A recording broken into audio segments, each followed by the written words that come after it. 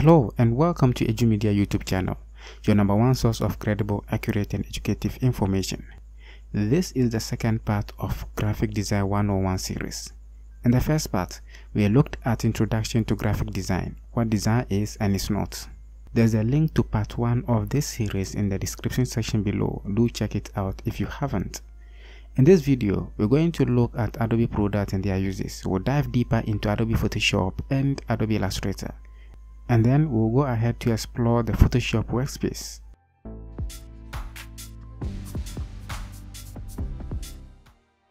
Adobe is known for the creation of multimedia and creativity software products.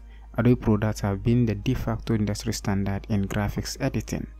The products include Photoshop, After Effects, Premiere Pro, InDesign, Illustrator, Lightroom, Dreamweaver, Fireworks, and so on and so forth. Photoshop, as we all know, is one of the most predominant applications used for image editing and manipulation. It's also used for photo retouching, graphic design, web and app prototyping. We can also use it for 3D modeling. Illustrator, on the other hand, is used for vector graphics and illustration. After Effects, we use that for visual effects, motion graphics, and compositing. InDesign is for desktop publishing, and then Lightroom is a great tool for photographers. Premiere Pro is used for video editing and then Dreamweaver is for creating websites. In this series, we'll focus on Adobe Photoshop and Adobe Illustrator. Photoshop is an advanced imaging and design application. It is used to create, enhance, and edit images, artwork, and illustrations. Normally, you combine photos, graphics, and text to create entirely new images in Photoshop. Photoshop is primarily used to edit 2D images. Despite this, it also provides 3D image editing functionalities. Typical projects you can complete in Photoshop include image manipulation, compositing, converting images from one format to another, image printing, and so on and so forth. Take notice that Photoshop is not a drawing program. It is a bitmap editor. Now, bitmap images are stored as series of tiny dots that are called pixels. A pixel is a very small square that is assigned a color and then arrange in a pattern to form image. That's all about Photoshop. The next program we're going to look at is Illustrator. Unlike Photoshop, Illustrator is vector-based design and drawing application. It allows for the creation of posters, symbols, logos, patterns, and icons. Vector graphics are composed of lines and curves that are defined by mathematical objects called vectors. Vectors describe a graphic according to its geometric characteristics. Vector images can be resized without losing quality. These attributes are what make vector-based programs different to bitmap-based programs such as Adobe Photoshop. The next subtopic we're going to look at is Photoshop, the workspace in Photoshop, and how we can navigate our way around it. For that, I will switch to my blank Photoshop application. So this is my blank Photoshop screen. Starting at the top, we have the main menu. Directly below the main menu is the option bar. The option bar will change depending on the tool that you are using at a particular point in time. So on my left here, I have the toolbox here. So for example, if I select a zoom tool here, you can see the option bar changes to reflect the tool I have selected, giving me the zoom in and zoom out options, as well as other zoom uh, options to control my window. Same applies to any other tool. If I select the type tool, the commands here on the options bar changes, giving me the options to select the font style, the font sizes, the alignment, and so on and so forth. At the far right side of the application, I have the workspace switcher here. Now with this command, I can select what and how my workspace should be structured.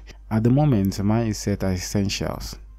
If I switch this to another option, for example typography, the workspace will change slightly, bringing the typographical tools closer for easy and quick access. But then I will leave my at essentials, that's okay for me. At this point, I'm going to use a mini project to highlight some of the features in Photoshop. This is the project or design I will use in this in this video. I'm going to redesign this simple project in here. Before we continue, this design contains a lot of subtle features. Uh, there's an image bounded by a circle and the circle has a black and white gradient. Also, there's a subtle shadow at the bottom at the bottom of the circle The text at the top will help us explore the type tool and its functions. Click on File and select New. Name the file as the menu. Change the units to inches and set the width as 14 inches, the height as 10 inches. Change the resolution to 100 pixels per inch and then select white as background content. Now click on OK. Click on the layer panel to open it. At the bottom of the layer panel, click on adjustment layer and select solid color. From the color picker, pick a color of your choice and click OK.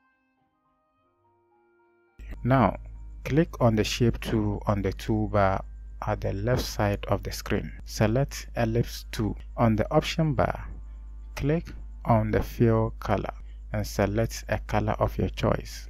Then Click on stroke and set stroke width as 7 points. Click on stroke color picker and select gradient. Select the gradient type you want and press enter. Now hold down the shift key then click and drag your mouse on the canvas to create a perfect circle. Position the circle at an appropriate location. Click on file, select place, navigate to the location of your image and double click on it. Press enter to commit the changes. Now hold down the shift key, then click on the corner of the image and drag to resize it proportionally. Press enter to commit the changes. Position the image directly onto the circle shape. In the layers panel, right click on the image and select create clipping mask. The image will be clipped into the circle shape beneath it. Click on the type tool from the toolbox.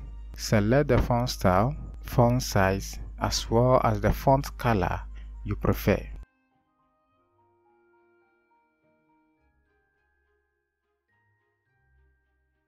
Click on the canvas and type the menu. Click on the check mark here to commit the changes. Position the text at an appropriate location.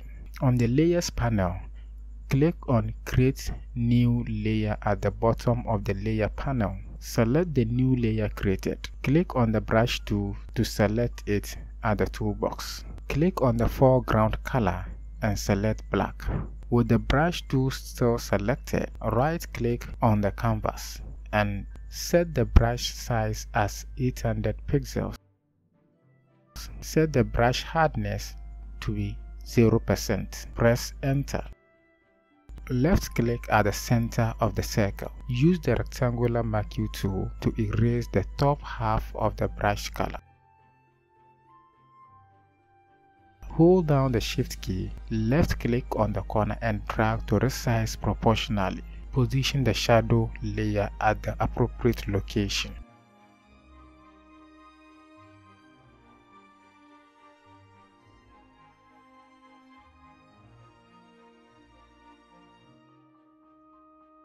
This is all that i have for you in this video. I hope you like it. If you do please hit the like button. Please share this video to any of your friends and relatives. Share to anyone that want to learn a skill or anyone that want to get a side job with any of these skills. And if you are new to the channel subscribe subscribe and subscribe. I would really appreciate your subscription. In our next video we're going to look at elements. Elements allows us to communicate our message clearly whilst the principles of design are what we do to the design and that is what determines how successful the design will be in communicating our message.